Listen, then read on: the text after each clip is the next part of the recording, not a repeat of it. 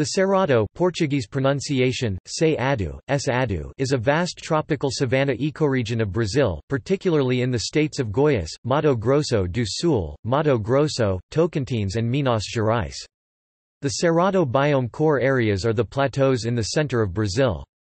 The main habitat types of the Cerrado include, forest savanna, wooded savanna, park savanna and gramineous woody savanna. Savanna wetlands and gallery forests are also included. The second largest of Brazil's major habitat types, after the Amazonian rainforest, the Cerrado accounts for a full 21% of the country's land area extending marginally into Paraguay and Bolivia. The first detailed account of the Brazilian Cerrados was provided by Danish botanist Eugenius Warming 1892 in the book Lagoa Santa, in which he describes the main features of the Cerrado vegetation in the state of Minas Gerais. Since then vast amounts of research have proved that the Cerrado is one of the richest of all tropical savanna regions regions and has high levels of endemism.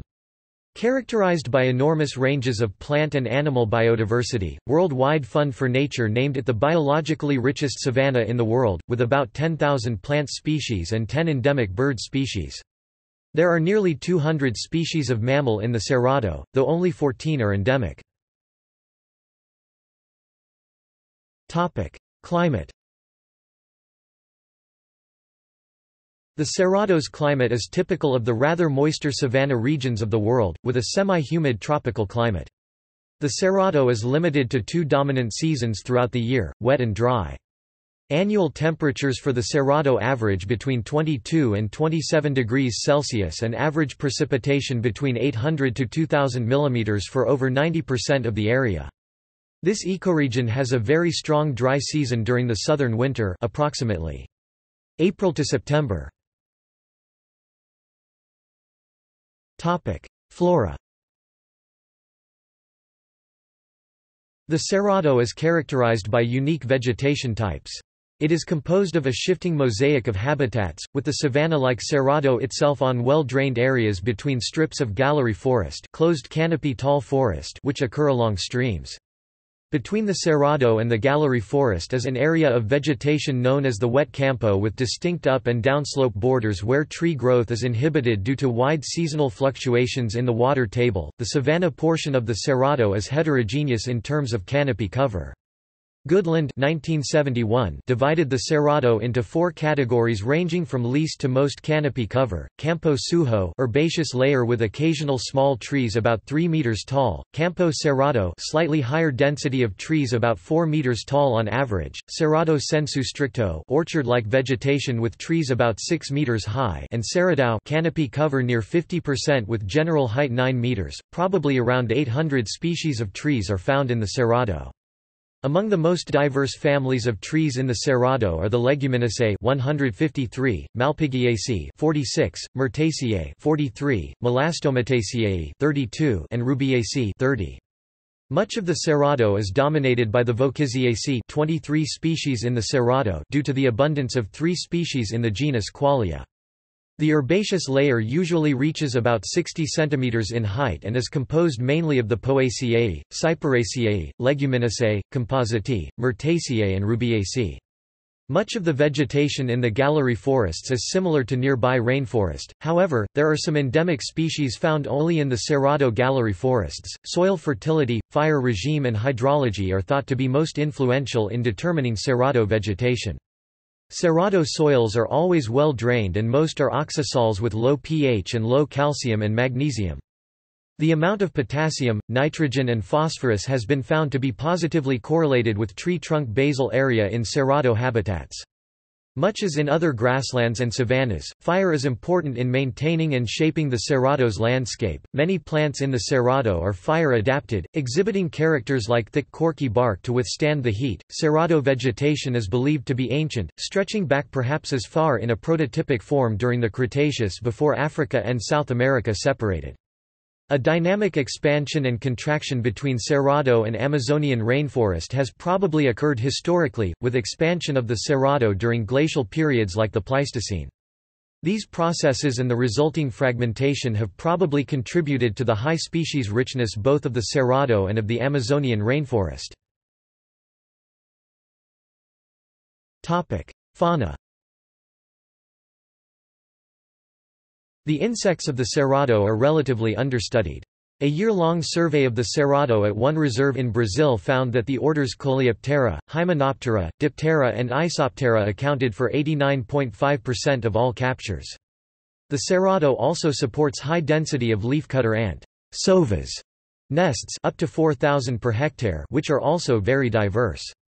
Along with termites, leafcutter ants are the primary herbivores of the cerrado and play an important role in consuming and decomposing organic matter, as well as constituting an important food source to many other animal species. The highest diversity of galling insects, insects that build galls in the world is also found in the Cerrado, with the most species 46 found at the base of the Serra do Cipó in southeast Brazil. The Cerrado has a high diversity of vertebrates, 150 amphibian species, 120 reptile species, 837 bird species, and 161 mammal species have been recorded.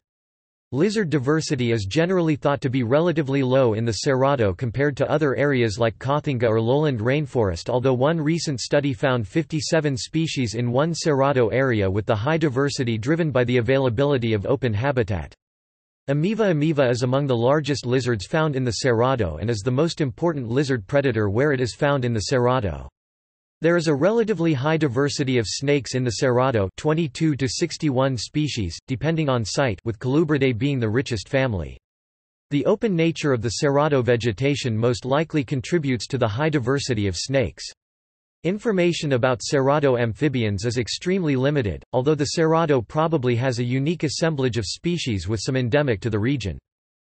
Most birds found in the Cerrado breed there although there are some austral migrants breed in temperate South America and winter in the Amazon basin and Nearctic migrants breed in temperate North America and winter in the neotropics that pass through. Most breeding birds in the Cerrado are found in more closed canopy areas like gallery forests although 27% of the birds breed only in open habitats and 21% breed in either open or closed habitats. Many of the birds in the Cerrado, especially those found in closed forest, are related to species from the Atlantic rainforest and also the Amazon rainforest. The crowned solitary eagle, hyacinth macaw, toco toucan, buff-necked ibis, dwarf tinamou, and Brazilian merganser are examples of birds found in the Cerrado. Gallery forests serve as primary habitat for most of the mammals in the Cerrado, having more water, being protected from fires that sweep the landscape and having a more highly structured habitat. Eleven mammal species are endemic to the Cerrado. Notable species include large herbivores like the Brazilian tapir and pampas deer and large predators like the maned wolf, cougar, jaguar, giant otter, ocelot and jaguarundi. Although the diversity is much lower than in the adjacent Amazon and Atlantic forest, several species of monkeys are present, including black-striped capuchin, black howler monkey and black-tufted marmoset. History and human population Taking advantage of the sprouting of the herbaceous stratum that follows a burning in the Cerrado, the aboriginal inhabitants of these regions learned to use the fire as a tool, to increase the fodder to offer to their domesticated animals. Exavantes, Tapuias, Carajas, Ava Canoeiros, Crejos, Xerentes, Xacriabás were some of the first indigenous peoples occupying different regions in the Cerrado. Many groups among the indigenous were nomads and explored the Cerrado by hunting and collecting. Others practiced coivara agriculture, an itinerant type of slash and burn agriculture.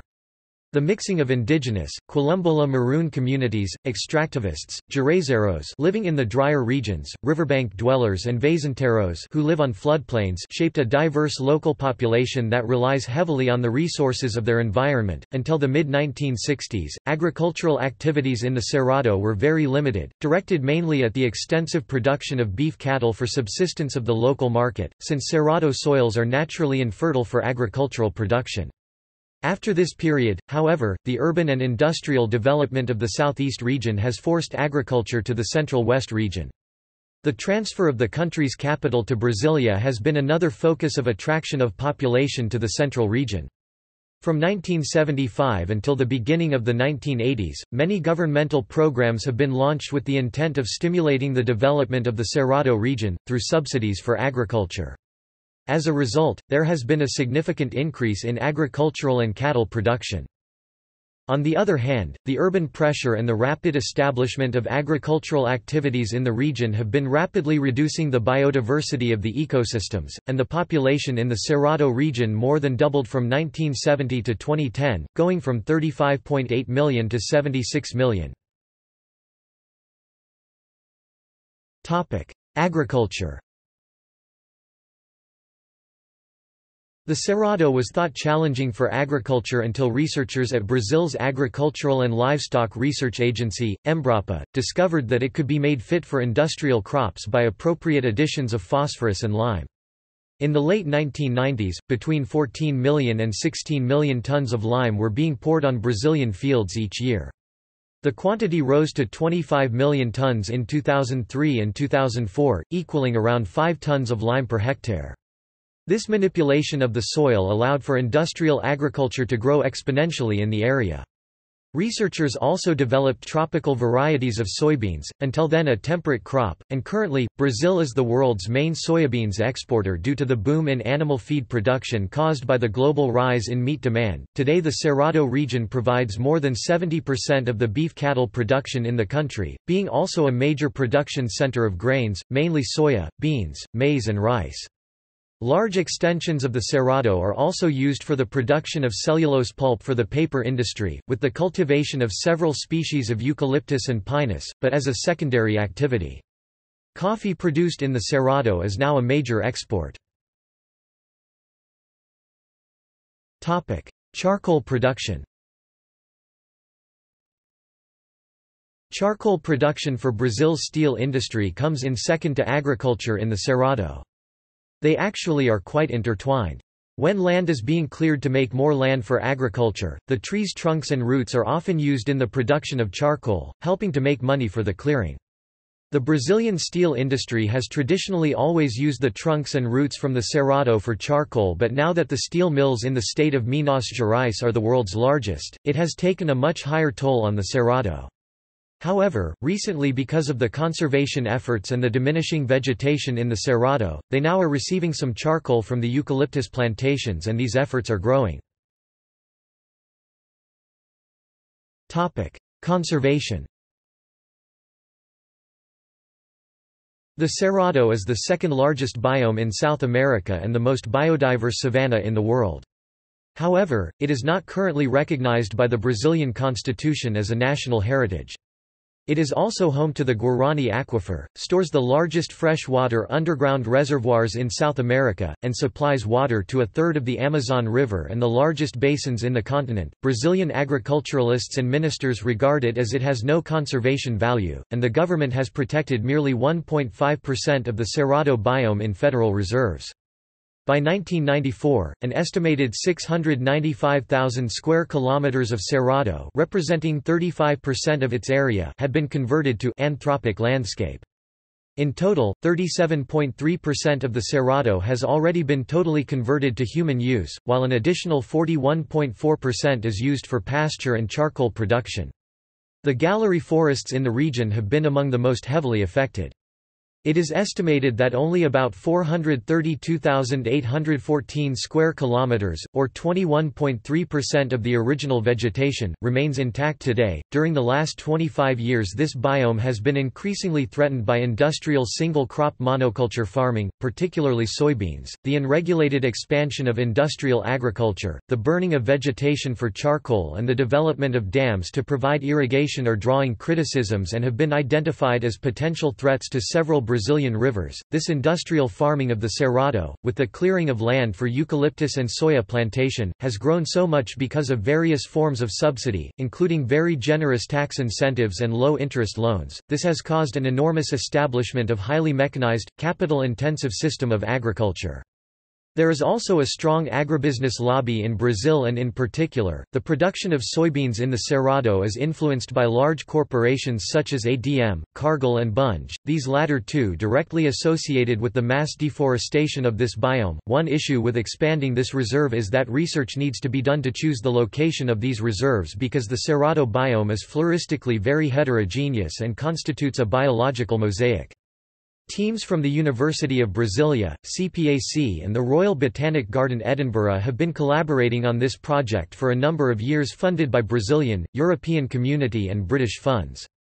The project has recently been expanded into a major Anglo-Brazilian initiative, conservation and management of the biodiversity of the Cerrado biome, with UK Overseas Development Administration funding one.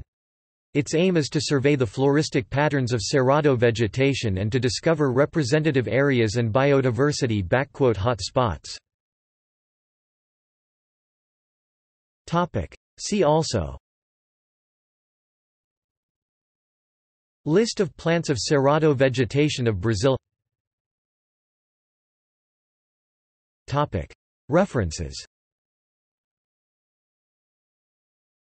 Oliveira, Paulo S., Marquis, Robert J. The Cerrados of Brazil, Ecology and Natural History of a Neotropical Savanna 2002, New York City, Columbia University Press ISBN 0-231-12043-5 in Portuguese Brando, M., Gavilanes, M. L. 1992.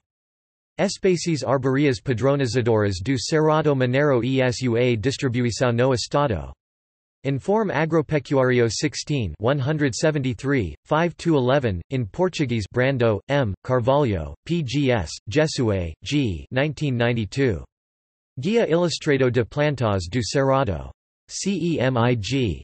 Castro, AAJF, Martins Fr., Tamashiro, J.Y., Shepard G.J. 1999. How Rich is the Flora of Brazilian Cerrados? Annals of the Missouri Botanical Garden 86 1, 192–224, in Portuguese Coutinho, L. M. Cerrado São Paulo, University of São Paulo. Ratter, J. A., Ribeiro, J. F. and Bridgewater, S. 1997, the Brazilian Cerrado Vegetation and Threats to its Biodiversity. Annals of Botany, 80, pp. 223–230, in Portuguese Leitão Filho, H. F. 1992. A Flora Arborea dos Cerrados do Estado de São Paulo. Hoehnea 19 1 half, 151 to 163 in Portuguese Mendonca, R.C., Felfili, J.M., Walter, B.M.T., Silva, M.C., Rezende, Filgueiras, T.S., Nogueira, P.E. Flora vascular do bioma Cerrado, Vascular flora of Cerrado biome IBGE G, SILBERBAUER GOTTSBERGER R. I 2006, Life in the Cerrado Reta Verlag, Ulm 2006, ISBN 3-00-017928-3 Volume 1, ISBN 3-00-017929-1 Volume 2 Topic Further reading Cerrado Biodiversity Hotspot Conservation International The Chapada dos Veadeiros, Cerrado de Altitude in Portuguese EMBRAPA Brazilian Government, Bioma Cerrado Topic External links Nature Conservancy Brazil, the Cerrado The biodiversity of the Brazilian Cerrado Cerrado, Brazilian government Cerrado. Terrestrial ecoregions. World Wildlife Fund. Guardians of the Cerrado photo story by Peter Catton